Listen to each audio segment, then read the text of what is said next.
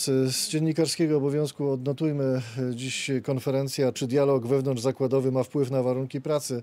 E, Konferencja organizowana przez Solidarność wspólnie z Państwową Inspekcją Pracy. No, pytanie chyba y, oczywiste i oczywista na nie odpowiedź.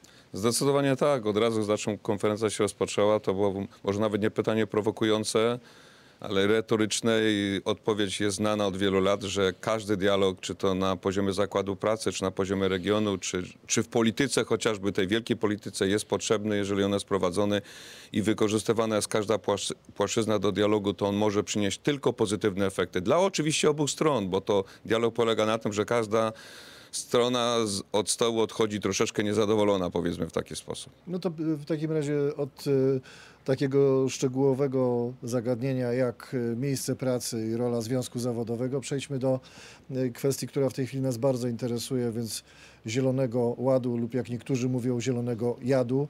Czy w tej sprawie jest potrzebny dialog? Czy jest możliwy dialog? Y, Jak pan przewodniczący y, diagnozuje tę sytuację? No to jest właśnie pokazanie przez elity europejskie kompletnie braku dialogu społecznego. Zresztą tutaj takim wzorcem jest pan premier Donald Tusk, który w 2012 roku też przestał prowadzić dialog społeczny z, y, z ówczesną Komisją Trójstronną czy z Solidarnością, gdy, gdy podnosił wiek emerytalny. To samo robi w tej chwili elita na tak zwana europejska, komisarze i pani szefowa Komisji Europejskiej Ursula von der Leyen kompletnie nie prowadzą dialogu społecznego w sprawie tak zwanego zielonego jadu, czy czerwonego, bo to trzeba tak nazwać, zamiast zrobić zachęty, zamiast prowadzić do tego, żeby przekonywać e, Polaków, Niemców, Francuzów, Hiszpanów, wszystkich i obywateli, którzy wchodzą w skład Unii Europejskiej do tego, że warto, że trzeba. Jest to taki tak zwany system nakazowy, chociażby ostatnia dyrektywa dotycząca, dotycząca tak zwana e, dyrektywa budynkowa, czy TS2, który faktycznie ogołoci Polaków z pieniędzy do końca, jest dla nas nie do przyjęcia. Stąd 10 maja robimy wielką demonstrację. Zapraszamy wszystkich tych, którzy się czują już w tej chwili albo będą się czuli pokrzywdzeni tą e, tak zwaną regulacją Zielonego Ładu, a w dalszym ciągu będziemy e, realizować nasze zamierzenia, jak, jak, jakie przyjęliśmy na Komisji Krajowej, czyli zbieranie podpisów pod referendum ogólnopolskim. Robiliśmy to w 2012 roku. Z, oczywiście z początku z takim skutkiem negatywnym, dlatego że posłowie w Sejmie nie wyrazili zgodę, czyli koalicja rządząca, nie, wówczas PSL, Platforma nie wyraziła zgody, ale po trzech latach się okazało, że wyszło na nasze, przegraliśmy bitwę, ale nie przegraliśmy wojny. Skąd takie zainteresowanie tematem i zaangażowanie w sprawę Solidarności? Panie redaktorze, szanowni państwo, Związek Zawodowy Solidarność o tak zwanym Zielonym Ładzie, wtedy mówiliśmy o tym polityka klimatyczna, mówiliśmy już od 2007 roku, wówczas jeszcze byłem szefem Śląsko-Dąbrowskiej Solidarności, ale nawet nie byliśmy do końca zrozumiali na posiedzeniach Komisji Krajowej, a tam górnicy, a tam hutnicy, coś tam chcą i tak dalej. I trudno nam było przez te lata przekonywać nawet ich samych polityków, dlatego że w 2011 roku podczas demonstracji w Warszawie przyjął nas pan premier Tusk. Rozmawialiśmy o tej polityce klimatycznej. Nawet została powołana, e, powołany zespół, aby rozwiązywać te problemy. No, skończyło się na dwóch spotkaniach, nic z tego nie wyszło. A Bruksela cały czas, chociażby rękoma pana Timmermansa, szykowała kolejne nam sytuacje związane chociażby z handlem emisjami, tak zwany program ETS-u i tak dalej, który doprowadzał do tego, że osłabiamy naszą polską gospodarkę, przestajemy być konkurencyjni wobec gospodarek nie tylko Unii Europejskiej pozostałej, ale, ale, ale państw poza Unią Europejskiej. Dlatego te działania, które podejmujemy w tej chwili są dla nas ważne i łatwiej nam przekonywać obywateli. Wie pan dlaczego? Dlatego, że to już dotyczy bezpośrednio ich. Oni zapłacą w ETS-ie dwa podatek, oni zapłacą podatek od rejestracji samochodu, oni zapłacą pieniądze duże za termomodernizację i tak dalej, i tak dalej. Łatwiej w tej chwili rozmawiać z obywatelami, dlatego że to nie jest tam, przepraszam, że zapłaci Orlen, że zapłaci PG, że zapłaci ktokolwiek, tutaj zapłaci obywatel. I dlatego y, 10 maja spodziewamy się udziału nie tylko członków Solidarności, ale generalnie Polaków, którzy y, sprzeciwiają się temu. Nikogo nie wykluczamy, wszystkich zapraszamy. Na Dolnym Śląsku symbolem e, takiej e, kwestii związanej z realizacją polityki klimatycznej, jakimś wypaczonym podejściem do tego, e, do tego tematu jest sytuacja turowa. Jutro Rada Krajowa Solidarności właśnie na terenie kopalni. O czym będziecie rozmawiać? No, walne zebranie delegatów Solidarności w Kopalni Turów to święto w każdej organizacji zakładowej Solidarności, także wybieram się tam jak od wielu lat co roku. Jestem przewodniczącym y, Wojtkiem Minickim i, i członkami Solidarności i pracownikami, górnikami z Kopalni Turów, dlatego że nie przypuszczaliśmy jeszcze parę lat temu, że Komisja Europejska jest w stanie położyć rękę i podjąć jedną decyzję, że zamykamy kopalnię Turów, cały kompleks, bo przecież to nie tylko kopalnia, ale, ale i elektrownia, czyli elektrownia, która daje 8% energii elektrycznej całemu naszemu systemowi bezpieczeństwa w naszym kraju. To jest po prostu dla nas nie do zaakceptowania. Byliśmy w Luksemburgu, jeżeli będzie potrzeba, to pojedziemy na drugi koniec świata po to, żeby tę kopalnię ratować. I wiemy doskonale o tym, że Komisja Europejska nie cofnie się y, w swoich zielonych planach tej ideologii o krok, więc my musimy faktycznie sprostać naszemu zadaniu, dlatego te podpisy, które będziemy zbierać po, pod referendum są dla nas bardzo ważne. W 80 roku też wydawało się, że nie jesteśmy w stanie pokonać komuny. Byliśmy konsekwentni, bo byliśmy solidarnością. Jeżeli teraz będziemy tą prawdziwą solidarnością, górnicy, hutnicy, motoryzacja i przeciętny śmiertelnik, zjadacz chleba w naszym kraju, oczywiście rolnicy, którzy pokazali nam, że można protestować, to panie redaktorze, nie ma takiej siły, która by z nami zwyciężyła. Wybory do Parlamentu Europejskiego. Przyglądacie się jako Solidarność e, tym wyborom, kampanii, kandydatom, którzy pojawią się na listach e, ugrupowań? No panie redaktorze, mam nadzieję, że ten stolik wywrócimy, bo wid- widać, że szczury uciekają z pokładu do Parlamentu Europejskiego, będą robili to samo, czyli tam y, będą szkodzić Polsce, tutaj szkodzą z poziomu kraju, a tam będą szkodzić z poziomu Parlamentu Europejskiego. Kolejne będą dyrektywy zielone, to oni będą głosować za tym, mówiąc o tym, że oni dbają o środowisko, że planeta płonie i tak dalej, i tak dalej. Te wszystkie bzdury i te dyrdymały, dyrdymały, które opowiadają. Przewodniczący NSZZ Solidarność Piotr Duda był naszym gościem. Dziękuję za rozmowę. Dziękuję panu, dziękuję państwu. Oddajemy głos do studia. Państwa przeprowadził nasz reporter i publicysta zresztą telewizji Republika, Janusz Życzkowski. Dziękuję bardzo za tę rozmowę. A my już, proszę Państwa, wszystkie te informacje, które padły przed chwilką na naszej antenie będziemy komentować z Miłoszem Manasterskim, prezes Agencji Informacyjnej. Witam Pana serdecznie. Czy się słyszymy? Witam pani redaktor, witam państwa. Panie redaktorze, to może zacznijmy od początku. Słyszymy, że na e, 10, na 10 dzień maja zaplanowana jest rekonstrukcja rządu, informuje e, pan e, premier Donald Tusk. Informujemy też, e, informuje też, że plan pomocy dla rolników e, ma być przedstawiony, być może jeszcze dzisiaj. E, No, a na 10 dzień maja planowana jest ta duża demonstracja rolnicza. E, O czym to świadczy? Czy potraktował poważnie wreszcie Donald Tusk to, co się wokół postulatów rolniczych dzieje? Jest strach przed tą manifestacją? Jak pan to, panie redaktorze, interpretuje? No niekoniecznie jest to poważne traktowanie rolników. Rolnicy wielokrotnie podkreślają, że tych rozmów prowadzonych z rządem było za mało, że właściwie nie czują się wysłuchani do tej pory. Zresztą gdyby czuli się wysłuchani, to nie organizowaliby kolejnej potężnej e, akcji e, protestacyjnej właśnie 10 maja. Czyli e, możemy powiedzieć tak, że po stronie rządów Platformy Obywatelskiej zawsze była bardzo duża e, zręczność PR-owa, e, połączona z e, bardzo dobrą współpracą z całym szeregiem mediów e, prorządowych. E, I w tym momencie zakładam, że ta rekonstrukcja, która jest planowana 10 maja, ma w tych mediach przykryć to, co się będzie działo. One będą miały pretekst o tym, żeby nie pisać o rolnikach. Już zresztą dzisiaj o tej rekonstrukcji bardzo wiele się mówi, spekuluje, zastanawia się, kto z rządu wyjdzie, kto do rządu w takim razie może wejść. No i to jest taki temat do pewnego stopnia zastępczy, choć oczywiście istotny, bo każda rekonstrukcja, zwłaszcza e, która następuje tak szybko, bo przecież to jest e, e, naprawdę chyba pewnego rodzaju rekord rekonstrukcji rządu, jeżeli chodzi o takie wydarzenia. Najczęściej jest to połowa kadencji, a nie pół roku tak naprawdę. No to mamy, mamy rzeczywiście taki obraz medialny, w którym e, te główne media mają pokazywać nowych kandydatów, analizować, co się w rządzie zmieni, a po prostu rolnicy gdzieś tam będą na 30 sekund pokazani gdzieś tam pod koniec. przerzucenia narracji, mówi pan redaktor, a jeżeli chodzi o ten plan pomocy dla rolników, spodziewa się pan, że uda się Donaldowi Tuskowi przejąć narrację także w tym temacie? Oczywiście p- plan, gdyby, gdyby ta, te propozycje dla rolników okazały się naprawdę atrakcyjne, to być może oni również odwołają protest 10 maja, tylko e, tak jak wspomniałem, e, nie wiem, czy problemy rolników i rolnictwa w Polsce są tak poważne, że bez bardzo poważnej rozmowy z rolnikami nie da się ich rozwiązać. A tak jak już wspomniałem, i jak przede wszystkim mówią sami rolnicy, bo to nie chodzi o moją ocenę sytuacji, tylko chodzi o ocenę sytuacji rolników, oni się poważnie traktowani nie czują. W związku z tym oczywiście może się okazać, że y, dzisiaj rząd zaproponuje coś atrakcyjnego, natomiast sądzę, że będzie to raczej y, coś, co ma zaleczyć, a nie rozwiązywać problemy, bo rozwiązaniem problemów trzeba zajmować się między innymi w Brukseli. Tam trzeba bardzo ostro e, walczyć z koncepcjami wokół Zielonego Ładu.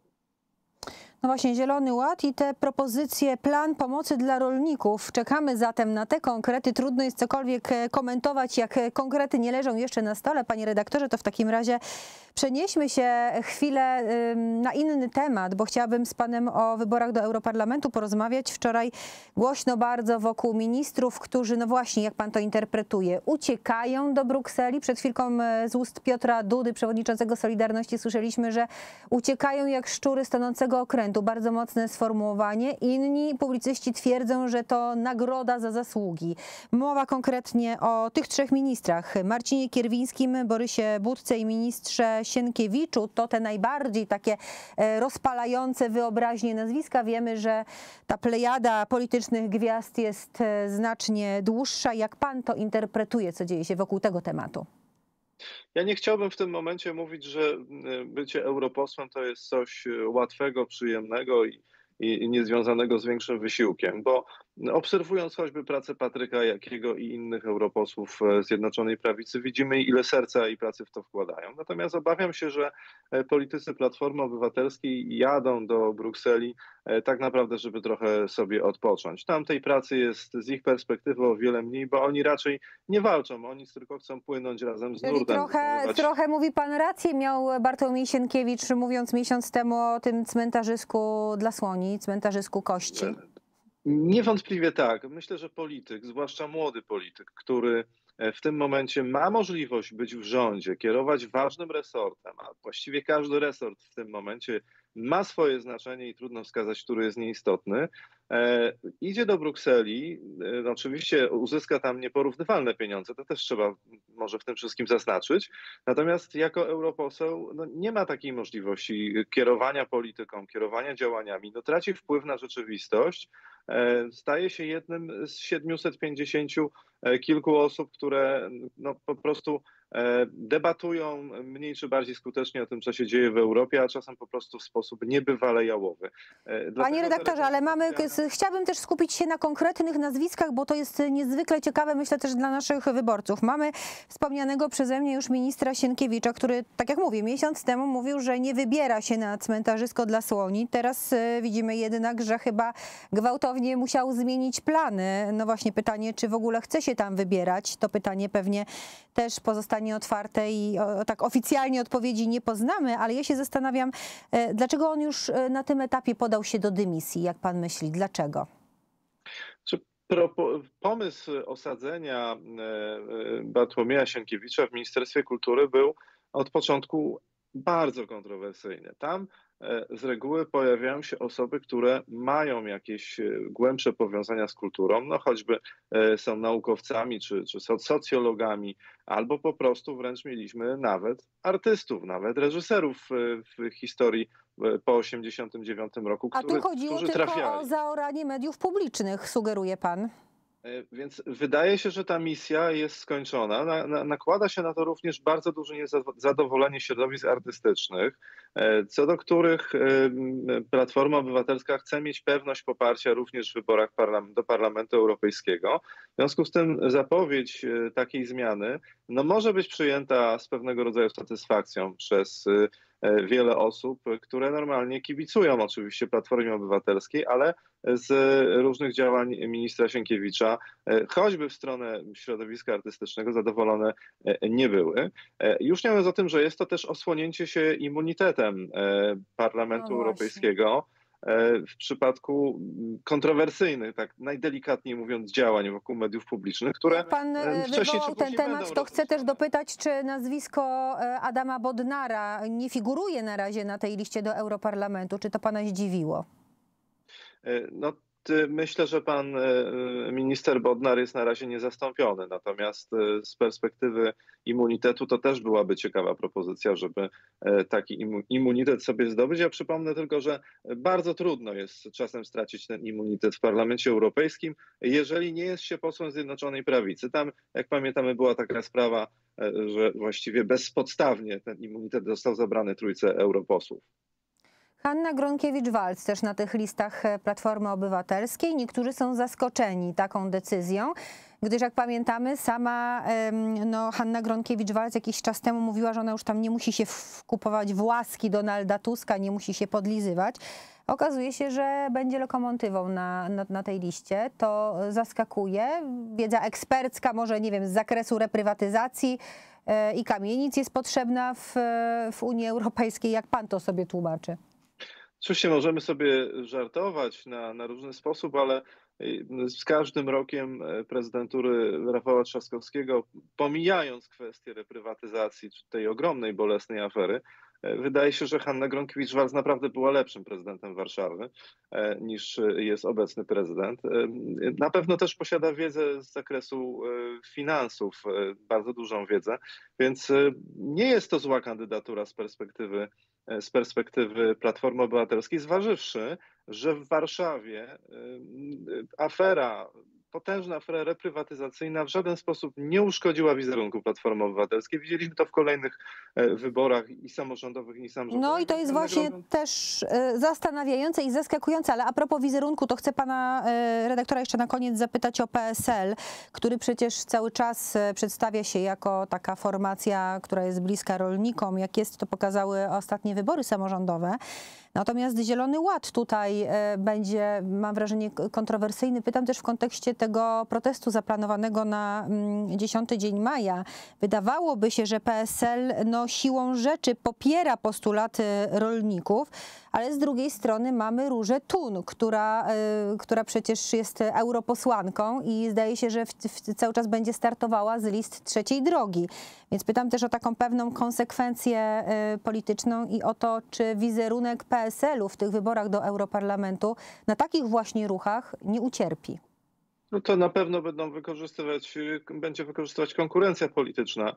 E, Nie, nie ma wątpliwości, że to połączenie e, e, trzeciej droga, trzecia droga, czyli PSL i, i partia Szymona Hołowni, no czasem jest to łączenie ognia z wodą.